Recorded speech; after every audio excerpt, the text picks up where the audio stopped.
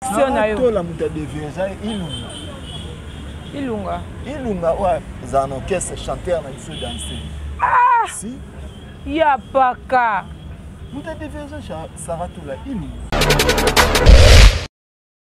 na kala ta ozwa zemi ya solo wana eh, mibali na cote d'ivoire bakosete ye ah, okay. kala ta ozwa ne zemi ah. eh? ava zwa zemi wana mm. dynastie nde akozala yaya ya bebe na ye ok eh, na sa ozala yaya ya bebe na ye ma sœur tiens quelle sorte de bêtise oyo eza ba bêtise neti mwana wana hmm. oyo neti nga soki natangi nkombo ya robino eza ndenge natombi naleki na sisi ya solo wana ya paka azwi avantage nde motu abimaka na ye moto azomema ye bakutu wana ngai sikoyo moyen nateka nazala fela nde eza te na nde nini ya paka de la presse ebo oyo musicien nakoma o pede de la musique eza kaka mpo asali mosala na ye azosala makambo azobotola bino mibali soko ngai nakomi lesbienne mpo nazwaka bino ozomona sikoyo donc kisinjora omoni kasa oyo hmm. na kati kotangaka nkombo ya papa ya vie te eh. donc sala vie na yo omoni mabele oyo oza nango ya minene soki mobali azokoka omile te milisa bambwa na bangombe Cindy Leke eh. aliki bato tu ya wenge na oyemba mm. na wenge na omwana mwasi azala te ayembaka na wenge ifaloba na quartier latin mpo na quartier latin ezala na bana basi baletre f ah, bana basi wana neti banani baletre f na wenge tozalaka na lettre h mwana suka herve donc kuna bazala na baletre f hmm. ken aza kizengi mais soki kizengi autilize mutu seke mutu wana aza bolole po kizengi akoki utilize mutu ya paka obi ken aza kizengi nakoloba na ye autilize mutu aza bolole eh, donc kizengi autilize bolole soki ezali ke bazosolola makambo wana ya bango mibale ye akoki kokota te saisai na sele baza na nzela moko te saisai azali fanatike ya sele yo ntango sele yo azoleli saisai azalaka te wana saisai azosala maboke na babare eh, bato bazomela ye omoni yo na ye bokokani omoni couple na bino ekosimba zala mayele baosaloge merci ah.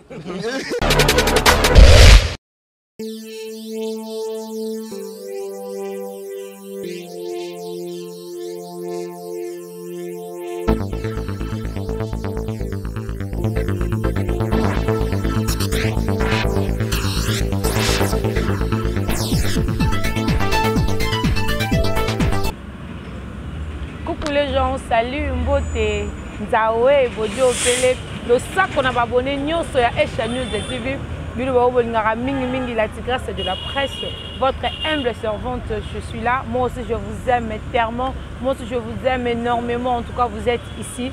Voilà, euh, aujourd'hui je suis avec Yapaka, avec lui on va essayer un peu de toucher partout.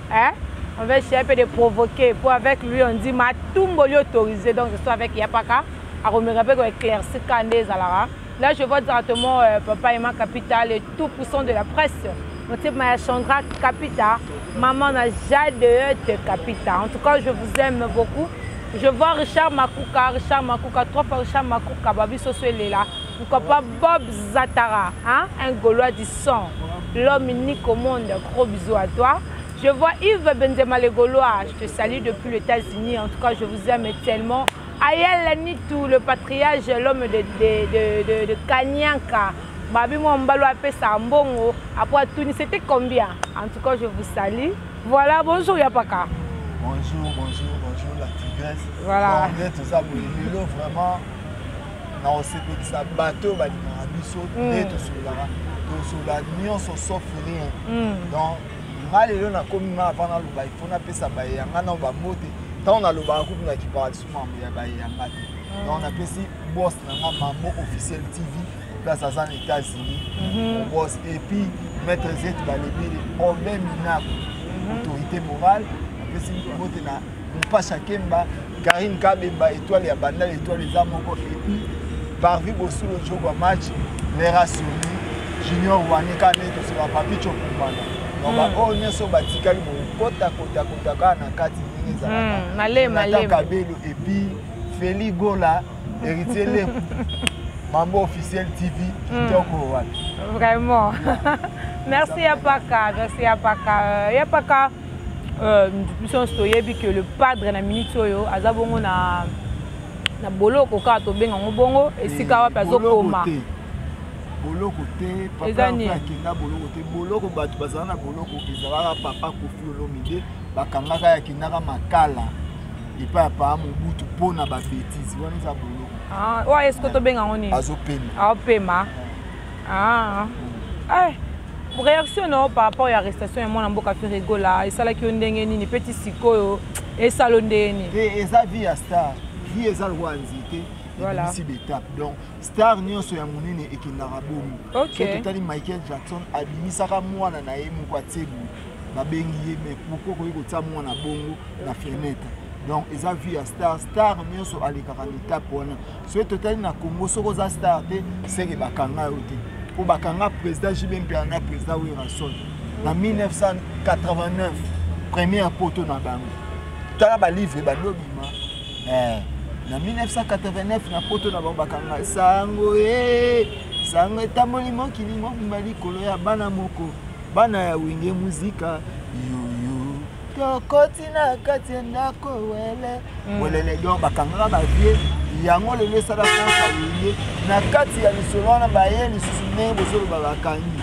bon bakangi mpe lobola donc seke bastar na wenge basali sali piana werrason na ferigula donc eza nango likambo oyo tokoki komona grave na baoyo tu wana batikali baza bastar nasi na lobi eyapaka eh, eza likambo oyo tokoki komona grave te eza makambo oyo eza normal eza mhm. vie ya motu mpe ya mobali mpe eloko bakangi eza affaire privé ya famille na ye eza makambo te oyo nde bamisusu bakanga bango dobe dorme alali ye mpe alalisi ye libano baza wana kaka bamiyebi bamiyebiyebi baza wana Boye bongo nga nakobanga kotanga kombo ya moto. Tanga neti nani? Mais bamiyebi yebi yebi eh, Kayo te asalaki mwana bato makambo asali te mais balalaki na ye lisusu non bongo te na français soki eza dobe dormi. Ah ok. Nazoloba ah. yango na français na lingala. Ok, Yapaka. en tout cas, comprenez, hein, je suis suivi avec Yapaka, il est à l'arabe, il peut être au Kendarané Boy. Donc, il est surtout au Kéboy, c'est que Blamba bien ça. ya mpaka tomoni lelo ba sortie médiatique esalami ya ndenge na ndenge motu tout en tout cas azoluka kaka alakisa ke azocompatire na mwana mboka fere egola tomoni bapapa euh, kofiolo mide tomoni bapapa weransone tomoni euh, comment dirais-je tomoni ba bahéritier watanable tomoni bato ebele basele oscram babina file ye kuta alati yango ntina bashort ba esali bino ndeni eh, bon bino fila akoki kolata na short mpo fere aza koko na ye Ah, okay. ah, donc frère aza mwana suka na libota ya bakoko na ba, ya bina fili okay. aza koko na ye voilà. héritier wata frère aza papa leki na ye eza normal aza confrère te confrère na fikolo fikolo fikolo fia okoma aza papa leki na ye ntango bazobenga na wenge kuna bazoloba frère nani ah, na sens wana ah, okay, okay. azali leki ya ba Président Werrason ya suka, Président Werrason aboti héritier wata ndenge fe ebola aboti ba marque house. Donc okay. eza biloko moko donc aza papa leki na ye yango ifo aloba yango hmm. nani lisusu oloba euh, kofi olomide te ya ye toboyi oboboya oh, ndenge nini moto asuete bino baafortifie bino azocompensera ensemble na bino en tout cas il est ensemble avec ferregola quelque part mpe fe egola aleka na orchestre na ye ya paka eh, asombaka fe egola ndenge real de madrid balukaki basomba mbampi eh. ah, na mbongo ezalaka contrat kutu ye aza motu omoi mambo ozongise hmm. mambo tosolola yango nazoloba bato na biso bozo comprendre te voilà mela maluna na mikeli etu etu pompo madula ingénieur nalobi boye hmm. nazoswanisa motu te nazoloba mambo oyo eza na calme nyonso nalobi boye na likambo oyo olobi wana bakofi olomidi afundaka mpenza na biso ferikola na parquet euh, na cachet judiciaire ke ayamaka mosusu ete ekomi ofere amela ye mbongo ya contrat donc ti ezoloba beta na orchestre nde te bazali na contrat te bazala mwasi na mobali te nini te mpo kofi azala na mama mwasi na mobali ekomi ndeni oyo eza vi na bango ya quartier la te ah. ye ayaka toujours se kosala mosala mosala ekokaki esili esili esili donc bamerci mosusu soki soutien oyo amoni eza soutien biso toboyi basoutien mosusu apesi mwasi na ye to mwana na ye balati hmm. tobakisi na bacaleson bazwa nyonsotobobwe basoutien tokoyi yango mpo déjà clip na biso ya rumba trap ebimi lelo donc fo tala degre rumba trap ezotalama ezokeka likolo likolo kutu ya mingi mingi neti nga boye yo oza no goloise te yo ozosala mosala nga naza golois naza golois ya verité verité na verité na verité ouais veri veri biso wana biso bato to tokendaka totengamaka te ripa rumba tape ebimi en tout cas tokoma wana tolobela yango nanu tokonsome yango bagolois ndenge kaka ezalaka soki tokonsome yango te banani bakokonsome yango donc eza biso kaka nde maître dadi yakuza nayebi ndenge ezalaka epuis ya yuyu kabi kumangama sabatino wembo ya remi ndombasi donc tosabone donc na chaîne na ngai na chaîne ya papa ema kapita soki bosabona te ifo bosabone hmm. mamtu tozosolola sauf rien oya koya totengama te mpo na motu hmm. nyonso neti héritier wata hmm. il faut soutenir fe mpo aza papa leki na ye et en plus mwana na ngai lisusu ya liboso basali na examen leta place moko mwana ngai apesaki baréponse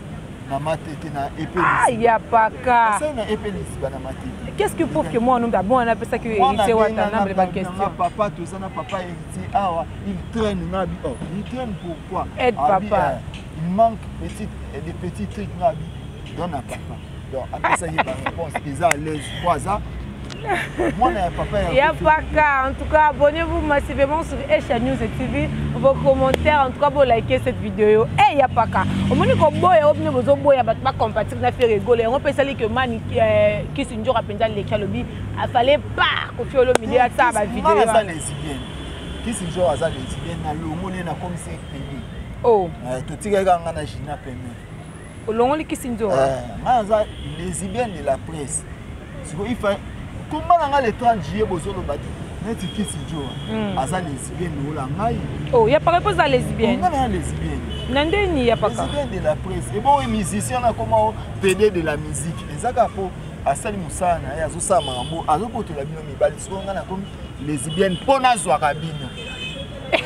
ozomona sikoyo donc kisi njora mwa mikasa oyo hmm. na kati kotangaka nkombo ya papa ya vite eh. donc sala vi na yo omoni mabele oyo oza nango ya minene soki mobali azokoka komile te milisa bambwa na bangombe donc yo moko oza deja na taille ya ngombe vraiment après et après après après mm. héritier amema ye poto wana mpo alakisa ye ke eza wenge kisi njo wana afinga héritier tour mm. azalaka na 4 lettre oh. 7 8 9 10 aza na 4 lettre te héritier alakisa ye akomprenaka te donc c'est juste po approuve kaka kisipo approuve ye ke wenge eza wenge bato oyo nyonso ye akumisa bapede bapapa bapede eske nani esi amema ye poto motu te mais héritier amemi alakisa ye ke wenge donc wenge tikalaka wenge kisizora luka vi na yo mwa lisu likasa kolobaka nkombo ya papa herve te aza na tana yo te toza na ngulu ya monene lokola yo te donc se respecte sala vi na yo oyo osalaka obebisa bana bato oh. ebele mpe oboma mabala ebele okomisa vi ya bato na mpasi donc oh. se stope wana ndenge makambo ekendaka sala vi na yo sala vi na yo wana oyo osalaka toye obebisi bana bato na bakwandungu ntango oyaka na bar ya camarade na yo hmm. andiagonal ya efomi donc sala vie na yo sala vie na yo pdg fala bumba lutte contre le pede et le lesbienne oh. nga sikoyo natika kaka nga moko bosoutenir kaka ngai na na pmf oh. nayebi ke pdg ande edijimo toboyi na biso makambo bapede maitre buba le monde toboyi jonathan kabelo oyebi ke jonathan kabelo camarade ya ig manager ya matoche donc toboyi makambo oyo nyonso tokosoutenir kaka ngai na gina donc lesibiane wana mosusu boyamba ye te vraiment bayamba ye te ya paka totikala kaka na manga basoutien oyo tomonaki mpe euh, euh, nani komi ezalaka nani sara tola c'est comme ça azo touche papa herve po réaction na yo tola moto ya devi eza ilunga ilunga ilunga oyo azala na orchestre chanteur na biso danse ah! si ya paka moto ya devi eza sara tola ilunga c'est vrai ça si si si si na ilunga ezala na hotel oh. lana ya solo wana ah, tala sikoyo donc eh. sœur sara tola kipe vi na yo omoni mobali na yo Héritier alongola ye mosala lelo yo okoma kobula mpo olesa ye oh. oyebi te oza ni velo oza na velo te oza na banitendo te so bambongo oyo obimisa wenze ozwaka yango wapi azwa yango na chaîne te aza chaîne ebo chaîne efutaka heure nyonso biso abombaka abombaka obomba wapi bachaine yango ekoma olekaka ba 100 dollars ba 113 dollars ba 112 dollars sikoyo ya ozwa nini donc ye abulaka abulaka na tarsi to nde nisembola oh. ko ya paka azoteka biloko ase ya basi ah ok ok bakech bapantouffle bilo ya teka utaka lufu Allo, allo, les revenus, ya mpaka. Ah, teka bino basaba se utaka lufu.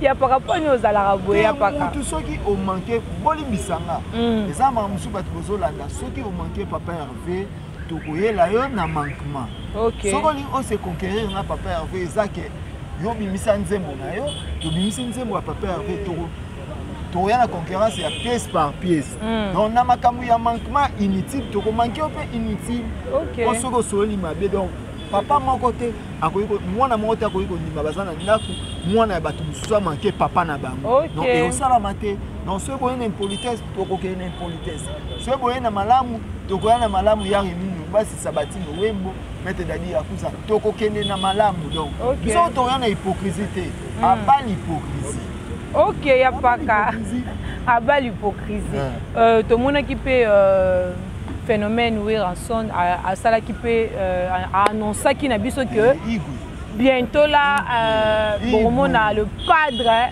akozala deja na baniveau ya bakine ah.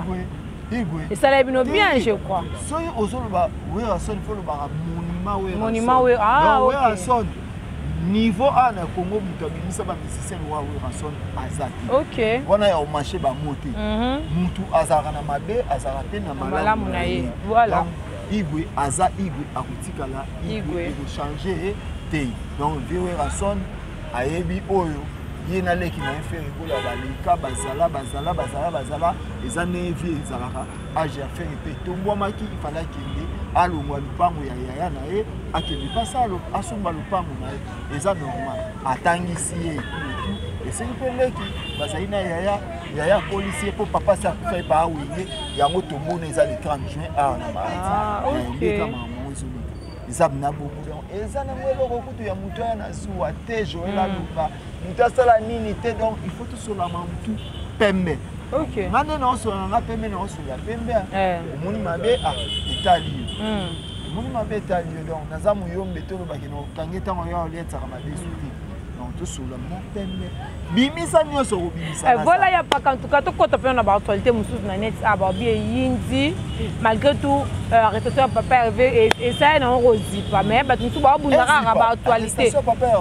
ezipi baactualité ebele histoire ya monde yango mais tomoni sikoyo bamisusu mpe elingi esala lokwa mwa koyokana tomoni musicien ya ya robino mondibu de grâce ofinga ex patron na ye abimisi na basecret ebombana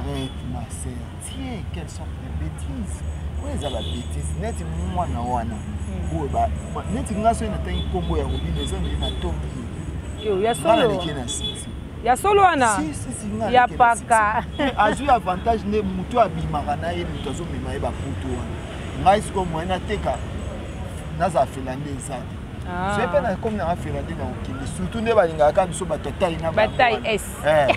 omoi te oyo amakelele tai mm. omoi te oyo alemba tai oyo amasina tai nga na kokota te eh, bowakasa vubu tai nga na kokota te nga nayaka naza mobali na otikala donc okota te oza mobali otikala kaka mobali nakokota te hmm. nakokota te nakota na lubani soki nakosi nakosi na buzoba nga na yaka mais apaka est ce que oyebi ke bazo accuse entourage ya ferregola ke il faut ba revoir ke ferregola de ke akozala libéré faut revoir entourage na ye apparemment bino bokomo trahir papa ya fe nani kosola bien hmm. napesi mbote epa grouve legulu ya soda mbodi ibula le grand muyaka fiston frappe tarik ngangu vasco de gama nansi basele tata mwasi ya bana hmm.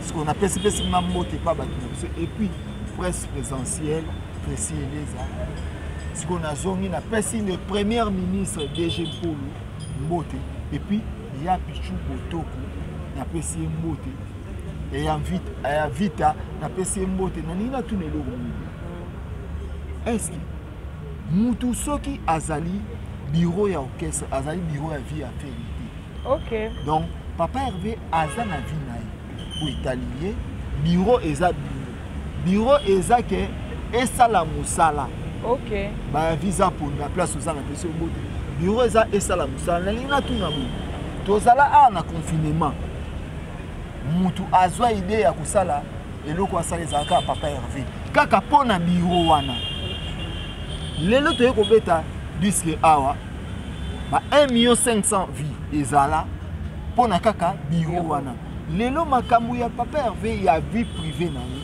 eza makambo ya biro te biro eza mpo na miziki donc biro eza mokala te bango bazali mpo na miziki donc mokala eza moto abengelaka bato basi papa herve mpe aza lisusu na temps te babengi ye mwasi mpo azalaka na mwasi na ye na ndako donc soki tokoloba makambo wana to arrete yango mpo mpe pa papa herve ezalaka te aza na mwasi moko boye atambolaka na bapede mwasi moko atambolaka na balesibienne to mwasi moko ezalaka moto akokotaka te non epa papa herve eza maturité eza ke bayebi oyo oh, papa herve asalaka na bato oyo eza mpo na mosala donc oyo ya mosala toloba yango mpo na mosala oyo ya makambo mosusu oyo tokende yango babetise eza babetise nayebi te soki ke babiro wana bakozala mabe na nini lelo tribu na biso ya kubatrape ezotalama kaka na effort ya biro wana siko biro yango apres basala nini ah.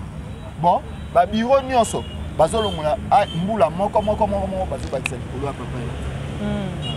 toke nango sikopo ezala ok merci ya paka euh, ya paka euh, nayebi te soki otalaki euh, blanda biso nyonso blanda mosaka alobaki eloko moko oyo oh, esalaki mpe dérangeaki mpe bato tout alobi ke cindy le cœur aleki bato tout ya wenge na oyemba Cindy Leke eh. aliki bato tu ya wenge na oyemba mm. na wenge na omwana mwasi azala te ayembaka na wenge ifo aloba na quartier latin mpo na quartier latin ezala na bana basi baletre f ah, bana basi wana eti banani baletre f na wenge tozalaka na lettre h mwana suka herve donc kuna bazala na baletre f donc lettre f déjà eza femme ah ya paka ouais. ok na oboye nde niveau na bien na carte na batia lettre ni so oza nango bimisi ya total lettre f siko biso mibali batiaka h hmm. donc na wenge ezaka na baletre h asali place wana ere ah. amanke nde tata na ye ndenge azomanke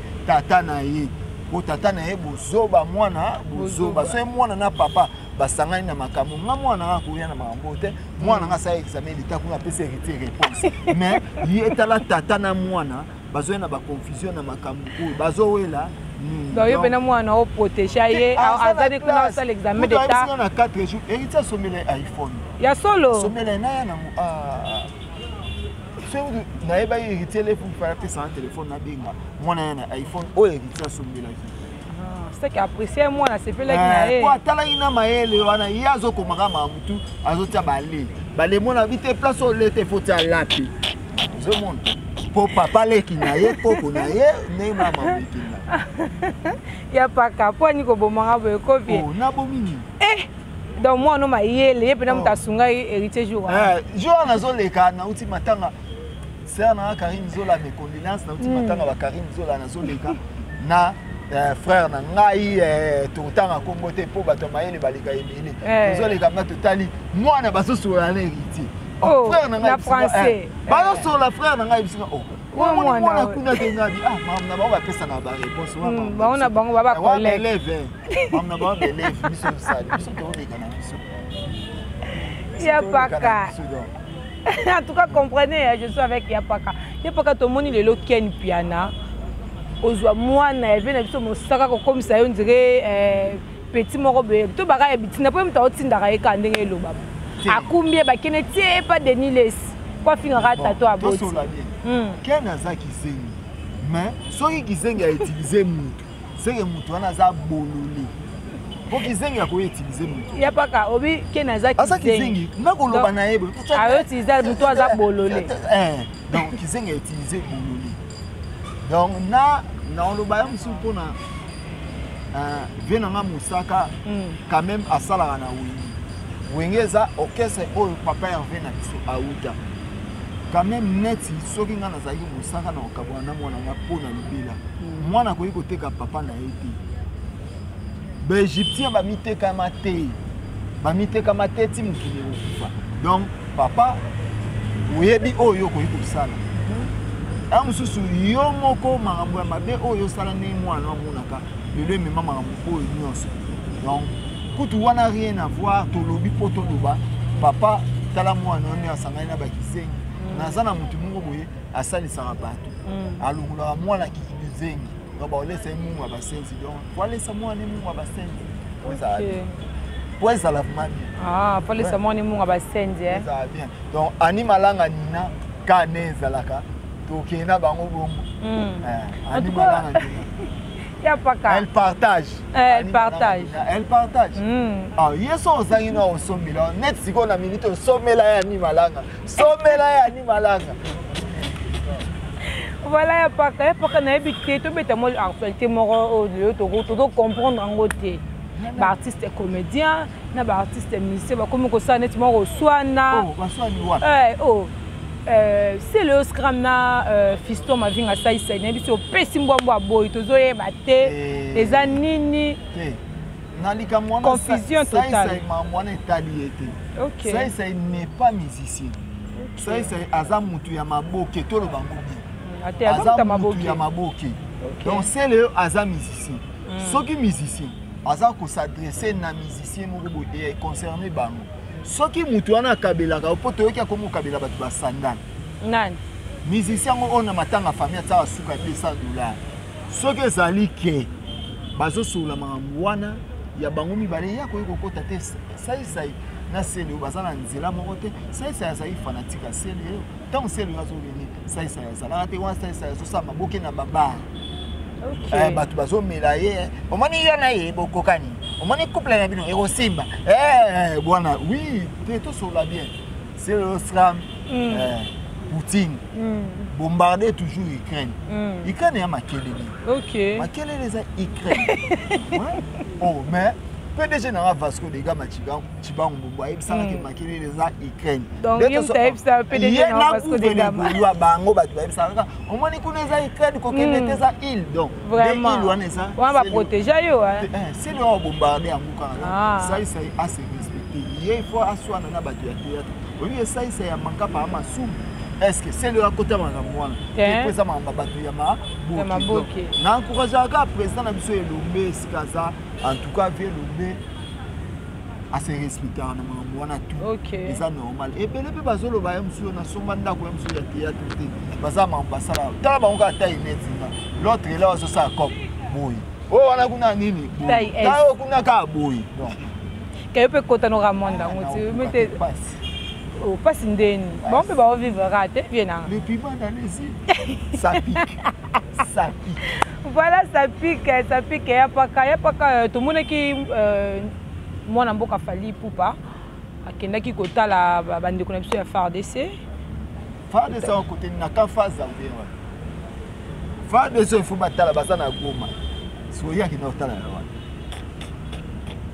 ya paka te tozosolola o oh. donc yo yebi te ke na ministre bato tu baosoutenir fardc akendaki kotala bandeko na biso ya fardc mm. na kafaza mpo ya kafaza bazobunda te bazobunda nde na goma donc oyo alingi tondima ye afuti avion ake goma eh. Ah ouais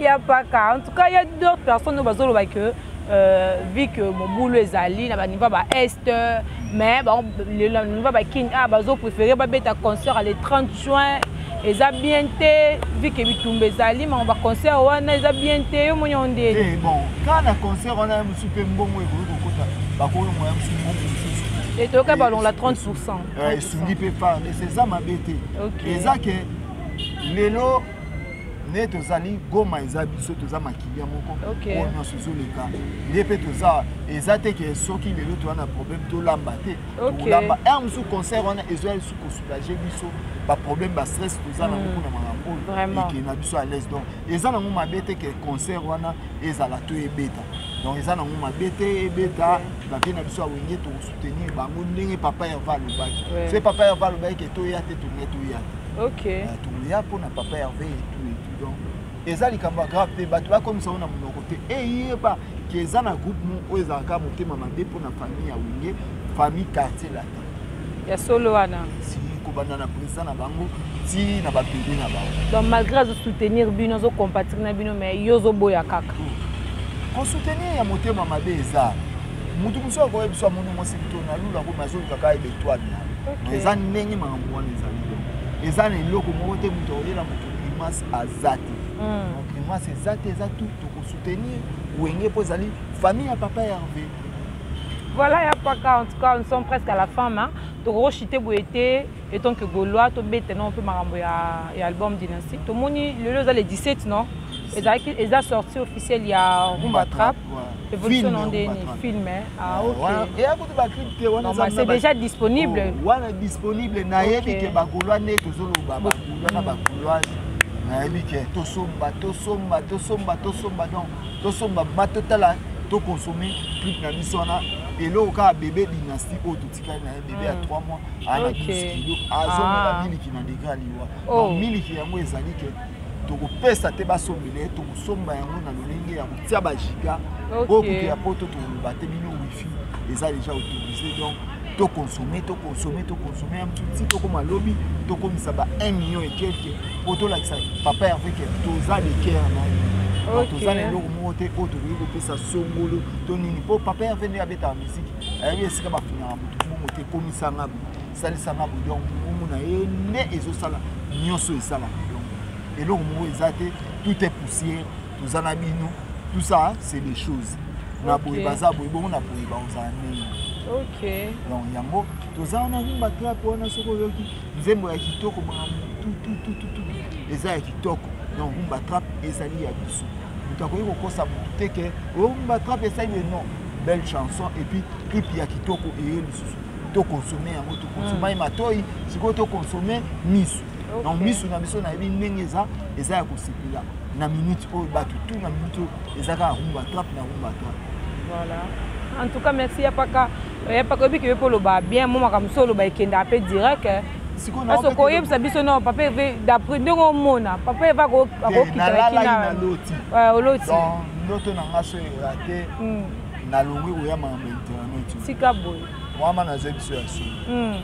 napesi suka le 27 tozala na papa ya na ndoto na ngai naloti eza te evenema libobo mobali ya sente mobali te wana eza ndoto na ngai po kalata ozwa zemi ata na suka yo kaka fo bete eh, eloko te na kalata ozwa zemi ya solo wana eh, libali na cote d'ivoire bakosete ye ah, kalata ozwa ne zemi ah. eh? ava azwa zemi wana mm. dynastie nde akozala yaya ya bebe na ye ok eh, dynastie akozala yaya ya bebe na ye ah. donc bagolo wana bagolo tobanga eloko te toza mpo na miziki kaka ya papa herve artiste akufaka te mm. donc ngai nakokufa na kotika afere ekolo ata yakufi liboso na ngai donc artiste akoki kokufa te banzembo na ye baalbum na ye baloluba ata nakomi na santa na koyebisaka bana na nga ke yave feregola asalaka boye asalaka boye asalaka boye donc ekotikala na baarchive mpe na makambo nyonso donc asi ayebisa ye biso bacomplexe tokolola bango kaka